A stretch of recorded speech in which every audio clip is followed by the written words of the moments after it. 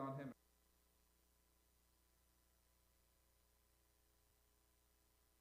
Before he comes here, while he's putting his mic on, we sure do look forward to this every King James Bible Conference, and um, it's exciting. It's exciting for us. I trust you came ready to just stay in and not looking to get out and see, ask what the Lord has for us. And I know He has something for us. And all you had to wait this morning for you, you know, you don't like singing early because it's your morning voice and you sound different. I got the same voice the whole time. Doesn't matter morning, noon, or night, man. I can sing and it all comes out the same. You're all worried about your voice cracking and, you know, can I hit the note? Can I not hit the note? And just let her fly. And uh, it gets to the ears of God the right way. He can tune it, tune it just perfectly from a heart that loves him there. So I appreciate you singing this morning. Everybody has their favorite preachers. Everybody has their ones that they like to listen to and stuff like that. And so I get the privilege to listen to my favorite preacher live today. And uh, I listen to him a lot. I like his old stuff. I like his good, his new stuff. But when I, when I need my face ripped off, I go back to the old days. And I love it when I click on the, on the, whatever that button is, the play button. And nowadays they have like a bar that goes across that gives you volume. I like it when I get one of his messages and they're all just right there. Those, those are the ones that when I just need my, just, just, just what I need. And sometimes I need it. I got a flesh like you got a flesh. I go back as far as they'll take me back and let me uh, listen to some of those things. And then, then when I want to be brought down, I put on Bob Jones Sr. or something like that with that nice voice. And it just kind of takes me down and makes me feel good and brings me back to where I need To. I'm just kidding, preacher. you, you helped me more than you ever know you helped me there. But that is a blessing.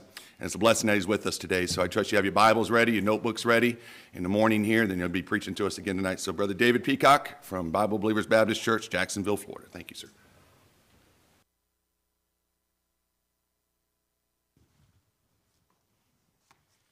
From whoever that is to Bob Jones Sr.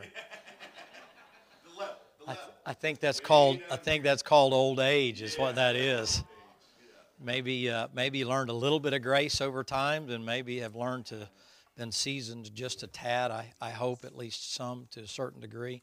First Corinthians chapter number three.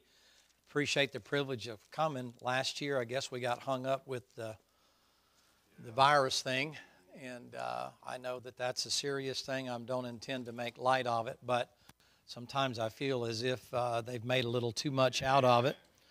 And, uh, but one of the things it has done is it has sort of uh, given all of us as Christians maybe two things to think about. One of which is the fact I assume that the majority of you here are saved. You're here on a Thursday morning for a meeting with a few of us gathered together, so you, you've got to be saved or crazy one. You can be saved and crazy, but you know, but. And, and so then the second thing would be so talking about the natural, the unsaved, practical life. Uh, one of the things that's gotten tested during the virus uh, the stuff that use that term. You can be saved and not be a Christian. Being saved means I'm eternally secure, I'm safe in the arms of Jesus. It's called standing in state in the Bible. I covered that a couple of years ago, but just kind of real quickly, it give you this idea for those that are not, not familiar with that term. Standing in state is, is like uh, last week I got on a plane to go to Ohio and I got in the plane in Jacksonville and I guess flew over four or five states. I was flying over different states, but I was in the same place in the airplane. So now that I'm saved, that you understand I'm safe with Jesus Christ, that doesn't change. That's my standing. But your state can change you can go from a saved carnal man to a saved spiritual man, but you can never go back to being a natural man. Amen. Now, it's important that you don't equate this. And here's why. If you'll just give me three or four seconds here to work out where I'm headed to give you an idea or a concept. The mistake that people make is, is that when it comes to spirituality, it is an act of doing things. That's not spirituality. I'm going to show you some things that you can do, but they should be the results of fruit born in your life, not just because, hey, I'm going to do these things, and therefore, because I'm doing them, then I'm a Christian. Being a Christian means you made a decision to discipline your life. The disciples, the disciples, the disciples comes from the word discipline. The disciples first be called, were first called Christians at Antioch. That means there's certain disciplines or things that I will have as a part of my life that are indicative of helping me to maintain my spiritual walk, but not my salvation. If you don't understand that delineation, ladies and gentlemen, you will always be looking at your works to determine whether or not you're saved and or to determine your fellowship. You can't determine it by your works. There's times where works ebb and flow. There's times where you're able to witness and go and to do and that kind of thing. And then there's a season where you're sick or you need some rest or some things begin to change. It doesn't mean you're any less spiritual, it just means that you're taking a bit of a sabbatical. Here's Jesus Christ. He goes down and he heals a bunch of people and he feeds a bunch of people. He tells the apostles in Matthew 14, he says, Go over there and get in that boat and row over to the other side, and I'm going up in the mountain apart to pray. Was he any less spiritual there than when he was doing miracles? No, he's the same one. He just wasn't as active with other people. But at that particular moment, something that I want you to grab there is his relationship with the Father took priority or precedent over him getting to the other side. And if as a Christian you'll understand that, that when things begin to unhinge, it's not get more and more busy. It's get closer to the Lord. When things begin to kind of go south in your Christian life, it's not, well, you know what, I just need to go to more church and listen to more Bible. And I need to do more praying and all that. No, you need to get back in fellowship with the Lord. Your salvation is sure. You understand? So, we're going to talk this morning about a carnal man and a spiritual man. I'm going to show you some delineations between those things and try to help you get that firmly set in your mind before I'll give you some comparisons, some illustrations with Saul, some illustrations with Absalom, some illustrations even with the, uh, the Pharisees that are in the Bible. The Pharisees were the ultra, what we would call the Bible believers of their day just so that you know, in the beginning, the beginning concept of a Pharisee was that they were to be separated from the Gentiles.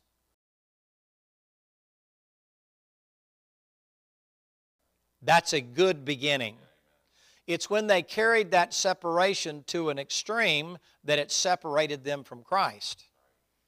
So, independent, fundamental, King James only, Bible believing, street preaching, hell hating, and heaven loving Christians can sometimes get to the point that they break their fellowship with the Lord because they get so separated that they can't reach who God sent them to separate.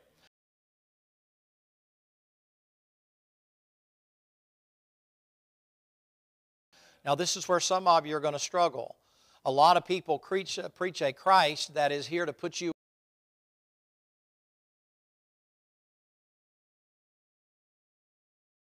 in chains. He came to set you free. That freedom means that I'm now under the law of Christ. I don't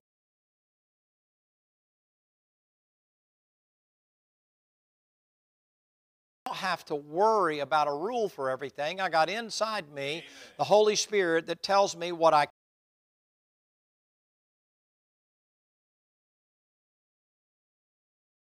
can do and what I can't do.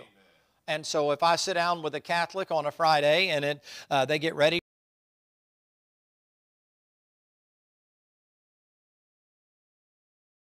to have, you know, roast beef and tenderloin, they get ready to have fried chicken and so on and so forth, I have learned.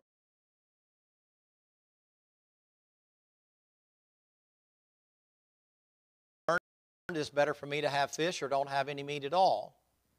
You say, yeah, but you have the liberty to do that. I do, but for whatever reason, if I'm going to try to reach the Catholic, it's not compromise for me to not get him in an argument over whether I should or shouldn't eat meat on Fish Friday. Now, that's more prevalent. It's an old illustration, but it's more prevalent nowadays that you have to know that sometimes when you're around a weaker brother or an unsaved person, there's things that you may have the liberty to do that you're not that you can't do, not and maintain your testimony but never think that that liberty is an occasion to the flesh. This is where the other group runs off into the hyper dispensationalists, and now, well, it doesn't make any difference. I'll be all things to all men. And so now I run off the deep end, and now I'm out there and I look like the world and I act like the world. And if somebody were to look at me, they wouldn't even know I was a saved individual. Is this staying with you so far at all? I want to give you the right balance to those kinds of things a Christian has to understand that when I say that, that you can't take that carnal way of thinking and run off the deep end with that. It's never intended to take you completely your flesh and just give it complete free reign. But it is to help you to understand that if I'm serving Jesus Christ, I don't feel that bondage. I don't feel that when the Lord tells me, don't listen to that, don't look at that, don't think about that, I don't feel He's restricting me or restraining me. I feel He's helping me. Remember the prodigal in the Bible? Everybody knows about the prodigal. Remember the prodigal in the Bible? The main fundamental problem with the prodigal was this he thought the father's house was a prison instead of a place of protection. When God draws perimeters, it's not because He's trying to put you in prison, He's trying to protect you. Amen. You have a bunch of little ones, they're growing up around here now, and they're getting bigger and bigger and bigger, and they need, you need a bunch of pickle barrels around here especially for those seated on the front row to my immediate left. But one of the things that you have to recognize is, is that as the kids begin to grow, you give them a little more liberty, but don't you watch them cross the street? Well, you're just trying to imprison them. No, you're trying to protect them, right? Because there's things they don't know. You see a goofy guy coming around and he just doesn't look right, it doesn't feel right. You don't say, hey, let's go test it out. It's like, stay away from that guy. He's a freako. We don't want to be around him because, you know, my spidey senses are tingling, right? So it's the same thing when it comes to the relationship with the Lord. If you're in fellowship with the Lord, He'll give you the direction. You don't need a list of rules and regulations. That doesn't mean you're lawless. Every time I say that when I go somewhere, then all of a sudden the legalist will jump up and say, well, now hold on just a minute, and then it's, you know, pants and pork and haircuts and hemlines. Uh, okay, well, I, I, I, don't even have an argument if you have to have a list of rules. Look, I had general orders and SOPs. One manual was that big, and the other manual was that big, let alone Florida state statutes, federal laws, and municipal ordinances that we had to do with my previous employment. Well, now I'm under the law of Christ. I'm looking for more, not more things that I have to do, I mean, that I can't do. I'm looking for things that I can do. So, your approach to the Bible is if every time you read it, it's what have I done wrong now? You're going to find in the Bible just exactly that. And you're going to find out you just keep messing up. How about you go to the Bible with a different heart? And when you look in that Bible, you know what you do? You begin to see things, you know what? I could learn to do that better, and I could learn to do that better, and I could learn to do that better, instead of I've just always messed up. Doesn't always have to be in the negative context. I realize there's a lot of positivity in the world today and those kind of things, but as Christians, it's not our job to try to offset all the positivity. I mean, as a Christian, I'm saved. To me, there is no better time than right now for you to have an opportunity to reach people because you got a pandemic thing going on, and literally people are petrified. Look, we've lost people in our church. I lost a very dear friend of mine, 45 year friend I've had for 45 years. I lost. People have died during that thing. I'm not making light of that, but ladies and gentlemen, I know where he is. I know where the other folks that have died that are in our church. Well, the world is looking at us, and if they see us wringing our hands and all that, we lose a great opportunity to step in and say, hey, you know what? I know in whom I am believed and am persuaded that He is able to keep me against that day. Are you in 1 Corinthians chapter 3? Is making sense? I hope to try to keep you awake. I'll just keep you for about, oh, another 20, 25 minutes, and then we'll take a, a bathroom break, and then we'll go a little bit longer. And hopefully over the next couple of days you'll have a couple of things to get it. Now watch. The Bible says this in verse number 1 of 1 Corinthians chapter 3, And I, brethren, could not speak unto you as unto spiritual, but as unto carnal, even as unto babes in Christ. I fed you with milk and not with meat. Hitherto were you not able to bear it, neither yet are you able. First two verses are very important things to point out to you. First of all, a carnal Christian, that's not an unsaved person. That is a person. Carnal just means the word like uh, like chili con carne. That's like or carnival. It's just flesh. That's all it means. So it means in Galatians five, if I walk in the flesh, I won't do what the Spirit tells me to do, and if I walk in the Spirit, then I won't do what the flesh tells me to do. It's the old saying that the old preacher used to preach all the time about the black dog and the white dog. He likened the black dog to the flesh and the white dog to the spirit. See, preacher, everybody's heard that a million times. Yeah, but you can't beat the illustration. The illustration is, is that whichever dog you feed the most, when they fight, and they will, that's the one that's going to win the race. It literally is the key to a successful Christian life. But you have to feed every day. And it's more than just read your Bible and check off your 10 chapters. And it's more than I prayed for 15 minutes today and following a list of rules. It's a matter of am I getting anything out of what I'm reading or am I just speeding through the Bible to say I read my Bible through in a year? But I don't really know what I read. You ever been reading your Bible in the morning? or any time, whatever time that you happen to be reading it, and you've read, and the next thing you know, you, you know you're reading, and you've gone about three chapters, and then you look down and go, What did I just read? Has that ever happened to you before? Well, so that's your flesh. The flesh turned it off. You say, Well, the spirit got it, it doesn't matter. Well, we'll give you a little secret here of how to get your flesh a little more under control. Every time you do that, we're going to go back to the last thing I remembered, and I'm going to reread the whole thing again. It's like the altar in church. You ever have your flesh tell you, you know, well, you ought to, your spirit tells you you ought to get up and go to the altar, and your flesh says, you ain't going to the altar, man. You're crazy. These people are going to be looking at you, and these people are going to be paying attention to you. And you say, no, I don't think I'll go. You know what you do? You tell that flesh, I'm going to drag your hind into the altar as many times as it takes until when I get ready to move, when God says, you're going to learn. Now, it literally takes some time to be able to do that. So the first thing you got to recognize is, is Paul had a desire to give them more than milk. But because they were so carnal, they were so fleshly minded, he had to stay on that fleshly, that wading pool, that sandbox sort of teachings and stuff. He couldn't teach them anything more because they couldn't take anything, couldn't digest any more than me. He compares them to those that are babes. Can I say this to you?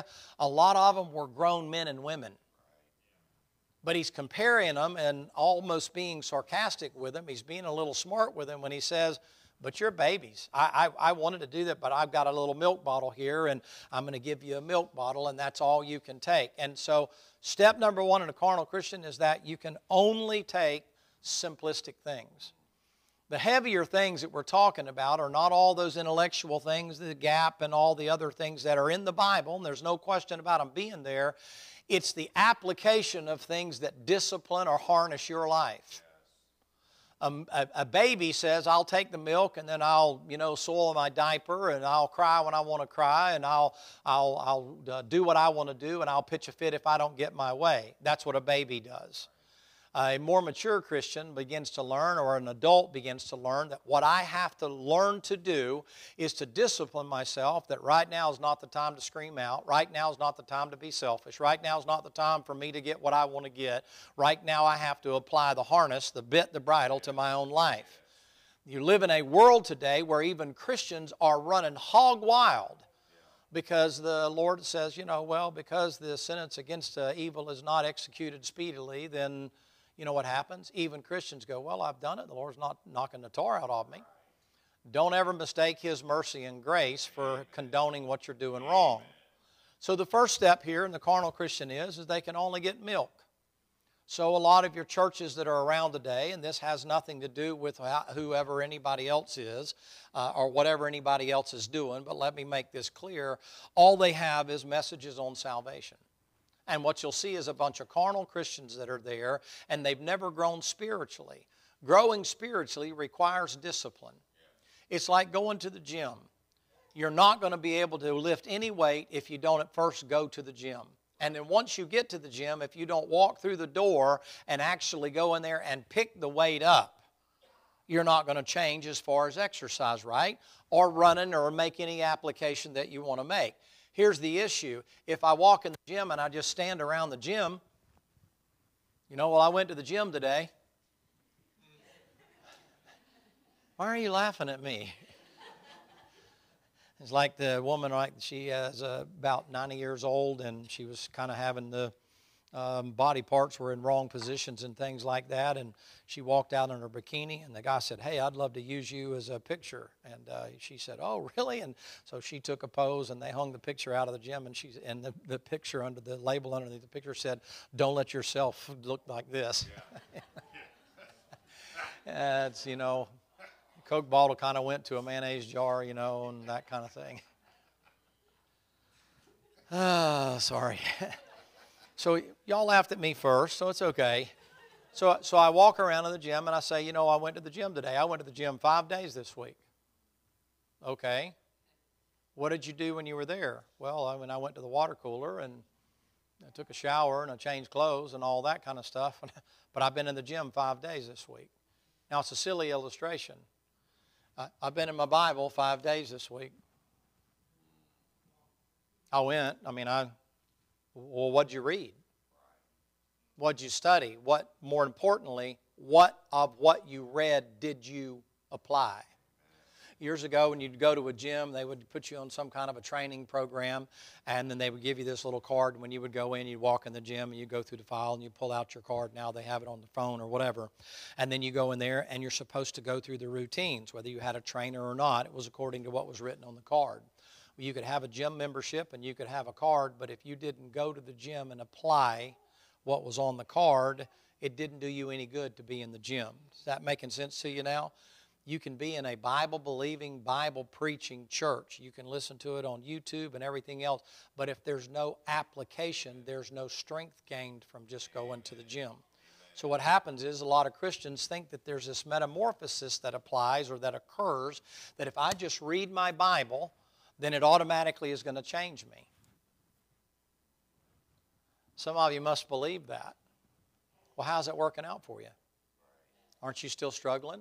Aren't you still? You got to apply the things that he wrote. It's not just a matter, I read it. Listen, uh, I, I don't want to ask that outright. That was rhetorical. Here, here's a question for it. I'll ask it this way, and you don't have to answer the question. Do you think if you read the Koran through 10 times that it would change you? I doubt it would, really. I mean, you would read it, you may have increased in knowledge, you would know what they believe, but why wouldn't it work? Look in 2 Thessalonians chapter 2. Let me show you the principle here before I move on. Because some of you are thinking, uh, preacher, he's already gone apostate. He's in Bob Jones senior years, and he's, uh, he's gotten too soft on us and that kind of a thing. Look in 2 Thessalonians. I'm not going to let you live that one down. Make it 1 Thessalonians chapter 2. 1 Thessalonians chapter 2 and verse number 13. This is the Apostle Paul. He said, For this cause also thank we God without ceasing, because when you received the word of God, which you heard of us, you received it not as the word of men, but as it is in truth, the word of God. Look at the last part. Which effectually worketh in all that read. No, in all that what? Believe. So guess what happens? Millions of people have heard the gospel. Did it change them just hearing it? When did it change them? When they believed it. What did they do when they believed it? They acted on it. When I got saved, I believed what my dad told me the Bible said about going to hell when I believed that, I had to say, Lord, I know I'm a sinner. I'm trusting you to save me because I don't want to go to hell. I had to act on what it is. Do you understand the principle? Just reading the Bible but not acting on it keeps you a baby. It is just, I, I heard the Bible. Yeah, amen. Hallelujah. Praise the Lord. Yeah, I heard the Bible. Yeah, but what about your gossip and your slander and your evil speaking? What about your envy and your strife and your maliciousness? What about your attitude toward others? What about Jesus first, others second, yourself last? Are you making any application of that? How about husbands love your wife if Christ loved the church and gave himself for it? Do you apply that? No man ever uh, hated his own body, but loveth, nurse, and cherisheth it, so Christ also the church. How are we doing with that one? Back to 1 Corinthians chapter 3. There has to be an application of that. So, so when somebody comes to you, if I go to Brother Aaron and I say to him, uh, Brother Aaron, I'll be at your house at 7 o'clock tomorrow to help you paint. And he said, Okay, I appreciate that very much. And then the next day, 7 o'clock comes, and he's like, uh, Hey, preacher, where are you at? And I said, oh, I, I said I'd be there. Well, I know, but you're not here. Well, I know, but I was just talking. You said, well, Preacher, that's ridiculous. You're, now you're lying. Yeah. I said I'm a Christian. The Lord said, okay, well, can I see some fruit, some evidence? Can I see something that shows that you are? Now, there's a guy not far from here. He's a little north of here, and one of the things he tries to teach on a regular basis is, is that, and I have to make this delineation to make sure you understand, is that if you're saved, you're witnessing, you're going to church, you're reading your Bible, you're praying, you're tithing, you're giving over and above the tithe, you're involved in mission work, you're doing this, you're doing this, you're doing this, you're doing this, you're doing this, you're doing this, you're doing this, you're doing this, you're doing this, and if you're doing all those things, I'll look at you and determine that you're saved. Nobody can look at you and determine if you're saved. If that's the case, Roman Catholics, a lot of them are more saved than we are. Mormons there, that's a good religious sect. I mean, as far as keeping rules and regulations, they're pretty good. I mean, when it comes to keeping rules and regulations. What I help, have to help you to understand is the performing of a duty that I'm going to, some of the things I'll show you, doesn't mean that you are the one performing the duty. The duty comes out of love for the Lord Jesus Christ and it's borne out as fruit. And then that way, guess what happens? If somebody helps you or doesn't help, it doesn't matter. I'm just doing what the Lord told me to do. And then you don't get bitter like Martha did because Mary won't help her with the biscuits. You with me? Come back to 1 Corinthians chapter 3. This is very important because sometimes, in an effort to try to increase church membership or increase faithfulness, increase loyalty, we lay heavy burdens upon uh, individuals that are too heavy to be borne. I can't force people to come to church to prove their spirituality during a COVID crisis and when they're worried about whether or not they are or are not being sick. That's their personal decision. I don't determine somebody's spirituality if they vote the way I do in a voting booth. You know, one preacher got up and slammed the pulpit and he says, "You know, I don't believe if you're if you're anything but a Republican, I don't even believe you're saved." Well, what a braying donkey. What about all the people all over the world that aren't Republican, Democrat, Tea Party, or any other division? Why is that even in the pulpit? Well, if you vote for so and so, you're not saved. Do you not find that a bit odd or strange? The guy that was in there the last time owns a bunch of casinos and a bunch of places that serve alcohol. And most Christians are like, yeah, he's the guy you must have voted that. You're like, oh yeah, don't worry, I didn't vote for the other guy either. Y'all are like, well, well, yeah, but you see what you did was you chose the lesser of two evils, and then you're saying that that guy's the guy. When do you know what goes on in Las Vegas in the casinos? He owns them. But he's the one the Lord's going to use? Uh, okay, Wow. So you now what you said is, is well, I can be a Christian and I can be involved in all that stuff. I'm not here to run the man down. I'm just here to say, see how you kind of shift a little bit. It's like, you know what, Lord, it might be better for me to just not put a mark on the paper at all, because, or at least don't make it spiritual. It's not spiritual. It's a decision. You know why you pick who you pick? Because you think they'll further your carnal way of living. That's why we vote for mayors and we vote for senators and congressmen. We vote for the person that we think is going to lower our taxes and give us more. That's how we vote. Yeah, some of you are good and mad now, but I don't know what else to tell you. are you not yet carnal? you say, well, how do you know? Well, let's go down a little further. Look in verse number three. For ye are yet carnal. Because why? First of all, they can only take milk. For whereas there is among you envy, strife, and division, are you not yet carnal and walk as men? You know what he says in that passage there?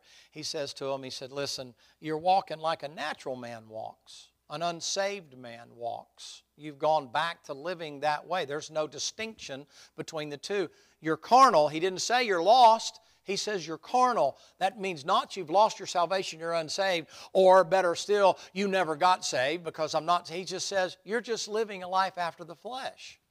Galatians chapter number 5 tells you if you walk in the flesh, there is a list of things that you are capable of doing. None of them includes going to hell or losing your salvation. You lose your rewards at the judgment seat. You lose your inheritance at the judgment seat, which we may get to a little bit later on, but I know you're very familiar with it and those kind of things. But here's what you got to understand I have to recognize or realize that I have a choice of whether or not to not be unsaved, natural. I have a, re- a choice rather to be made of whether to be carnal or whether to be spiritual. Spiritual requires discipline. You say, why? It depends on feeding the dog. There's certain restraints you have to put upon yourself. Look in Romans chapter number 8, please. Romans chapter number 8. Do you yield to envy, strife, and division? Let me be careful how I say this. Some Bible believers are so caught up with fighting with each other that they never pay attention to their own spiritual growth. All they're interested in is winning an argument what has literally consumed them every day when they get up is they have to go to their social media and they have to find out what's on some message board and they have to jump into the argument. They haven't looked to see whether or not they need to grow. They're just interested in winning an argument from whatever their particular point is about a myriad of things that are out there. Well, first of all, you may have maybe lost the main thing is is my relationship with the Lord, and if my relationship with the Lord is what it ought to be, it ought to make me want to see other people saved. Those are kind of basic things. And then I need to grow some on my own rather than show my intellectual prowess by getting into some kind of an argument like I'm Dr. Bottlestopper or Diddle Bob and I'm going to get out there and we're going to argue over, you know, whether the earth, here's a good one, whether the earth's flat or round. I had a guy walk up to me last year, right before Christmas, in the last meeting I was in, and he said, You know, I've heard you say some pretty sarcastic things about flat earthers and things like that. And I said, Okay. And he goes, I'll have you know that the earth is flat. And I said, Okay. And he goes, No, I, I mean, I, I want to have a debate with you about the earth's flat. I said, No, you win, it's flat. He goes, You don't believe that? And I said, It doesn't matter. What, what is the point of the argument it's flat or it's round. We'll know at the rapture, but why, I, you win. The earth's flat. Now let's talk about something that matters. Because the fact is, is you're going to quote a bunch of scientists, and I'm going to quote a bunch of scripture, and you're going to show pictures, and then I'm going to say photoshopped, and then we're going to go round and round and round. I don't care if you believe it's flat. I'm okay, good, great, fine. I'm just soon leave a flat earth as a round one any day. I don't care. It, doesn't, it's this big conspiracy. Why are Bible believers involved in that? Why are we consumed with things that don't literally amount to anything? And what it does is, is the carnal man is so interested in winning an argument that he yields to envy, strife, and division. So we have divisions in our crowd. I'm not talking about the other religions. We've gotten to a point we don't fight Catholics and charismatics and Muslims and Church of Christ and Unity and all the other ones. Nowadays, what we do, we fight each other. You know, you know, you want to fight? I don't know. We'll fight. What is that? That's carnality. Envy, strife, division. You walk into church, it's kind of like you're waiting for somebody to knock the chip off your shoulder. You know, somebody sat in your chair, somebody parked in your parking place, somebody painted the wall a, a different color or something. Well, if they'd have done it like I said it ought to have been done. Okay, well, big deal. I mean, it wasn't done that way. What's what? Let's get into the book and let's see what's happening, right? So the thing you have to recognize is if your propensity is is to always be caught up in that, the Lord's given that to you as like a checklist. And it's like, listen, if that's what you're worried about and consumed with, that's defending your flesh. And if that's what you're doing, you're carnal. That's the Lord saying that. That's not me. He said one of the nomenclatures, one of the signs, one of the indicators of an individual that's carnal is they are constantly caught up in envy and strife and divisions. All right? If that's your life, good, you're in the right place because I can move you out of that and show you what being spiritual is all about, but you have to realize you're not here to clash swords with everybody. It's not always about let's have some kind of a fight. I I, I shudder to say this, and, uh, and, and I say it in a kind of a careful way. When the Lord says, Sanctify them with truth, thy word is truth, it has to be an application of that truth for it to work. But none of us are Dr. Ruckman and you're not fighting a battle that he was fighting over the King James Bible anymore and all this other stuff that's now out there. You say, why? It's just for carnal Christians to just be fighting all the time over something as if that establishes your Christianity or your spirituality. It doesn't establish anything. Oftentimes, all it does is show your ignorance. It's like, why are you even arguing about that? You ever uh, have, if you have kids around the house, you have more than one kid, you ever get ready to have dinner time, time and they get ready to come to eat and they can't quit arguing and quibbling with each other to come to the table and sit down and shut up so they can eat?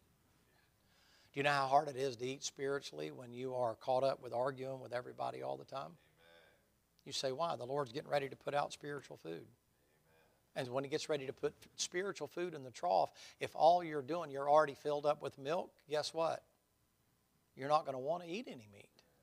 Are you in Romans chapter number 8? Look in Romans chapter number 8, please, and look in verse number, pick it up in 5. For they that are after the flesh, this is profound, do mind the things of the flesh, but they that are after the Spirit, the things of the Spirit.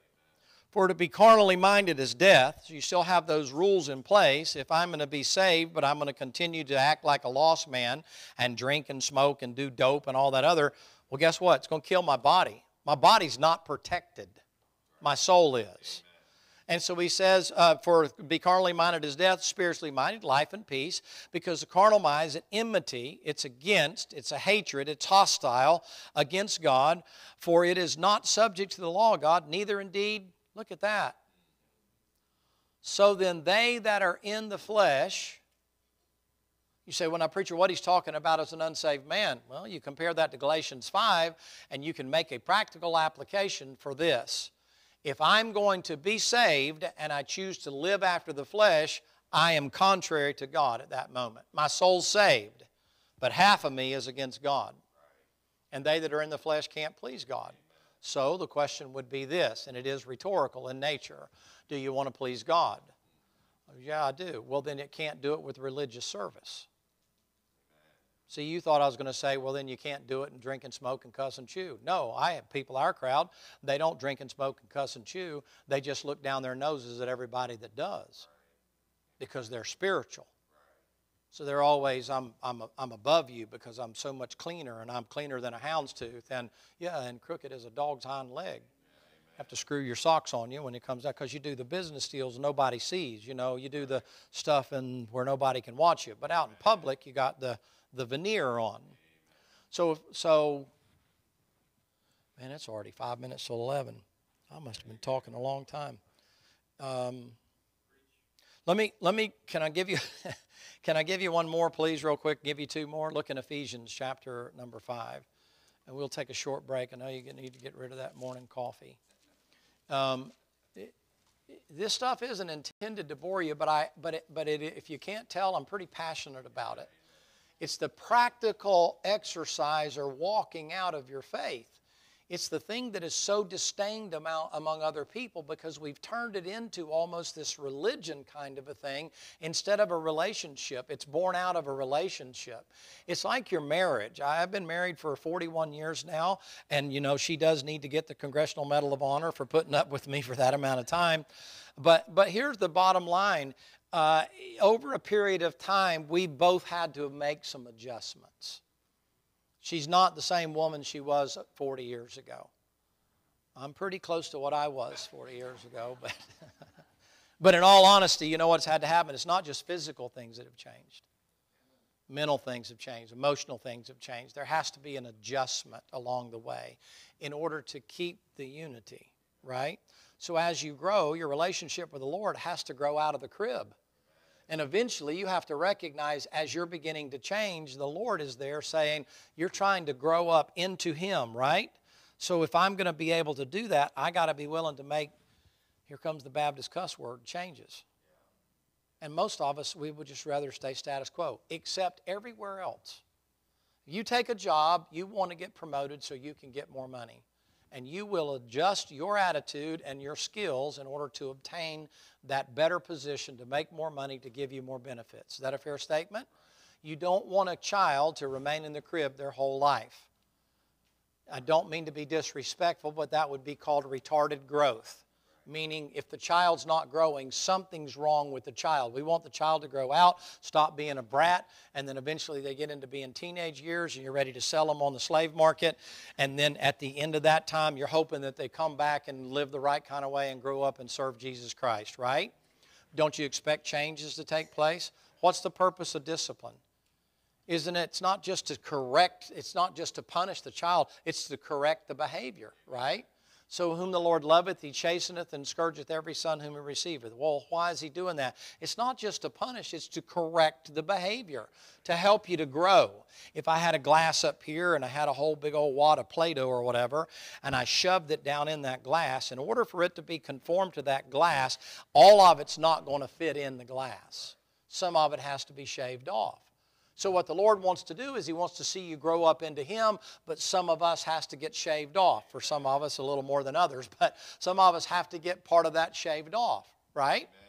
So spiritually, in order for you to grow, you have to recognize that when the Lord puts his finger on something, he goes, okay, we need to knock that edge off. We need to knock that corner off. We need to get you where you can fit where you need to fit. Right now, you're not fitting. So, what I need to do is I have to make those changes. Otherwise, my growth is stunted and I stay in the crib and I'm good at taking milk. but I'm not good at helping anybody else because I'm still in the crib. Look in Ephesians chapter number 5. Here's a sign of some growth that are there. Yield unto envy and strife as compared to a true Christian. Look in verse uh, 1. Be therefore followers of God as dear children, and walk in love as Christ also hath loved us and hath given himself for an offering and a sacrifice to God for a sweet smelling savor. Before you get into all the things he tells you not to do, you know what he said? He said, if you're growing up, you know what you ought to do? You ought to learn to love one another. Amen. Don't you love the passage in Ephesians 4.30? Grieve not the Holy Spirit of God, whereby you're sealed the day of redemption. And um, be ye kind one to another. Tenderhearted. Forgiving one another. Even as God, for Christ's sake, hath forgiven you. And grieve not the Holy Spirit of God and he comes down through let all anger and wrath and uh, put away with you with all malice and, and all and so on and so forth. That's the top part above the verse there. And then he comes into there and be kind one to another. You say, what is that? That's contrary to my flesh. My flesh gets hit, it wants to hit back. The Lord, when he was reviled, he reviled not again. You begin to see the difference? So if I want to grow, then I have to recognize I've got to grow one or the other. That means I got to grow spiritually. One more Galatians 5 and we'll take a break. Galatians 5 I think I'll have it pretty well set up after this. Now, when Paul says that I was going to give you some things, but you're not able to bear them, this is what he's talking about. I can give you some things about living a practical Christian life, but you can't bear it because you're still a baby and you think it's all about you. You live in the most meistic, selfish culture that has ever existed on the face of this planet. And some of it comes because of all the social media stuff, and a lot of it comes from the computer and the televisions, and they make you think that you're the center of the universe. So they have the universe shaped in this fashion, where it comes down to a point this way, where you're the center.